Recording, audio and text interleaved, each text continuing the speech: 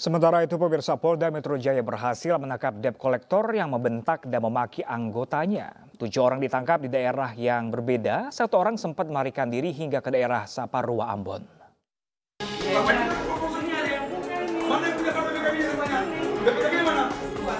Viral di media sosial, video yang memperlihatkan seorang debt kolektor membentak dan memaki seorang anggota polisi. Kejadian itu terjadi pada 19 Februari kemarin di sebuah apartemen kawasan Tebet, Jakarta Selatan.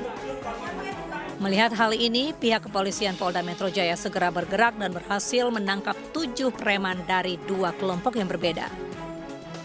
Satu orang sempat melarikan diri ke daerah Saparua Ambon namun saat ini sudah ditangkap. Viral, baru-baru ya viral. Terjadinya suatu tindak pidana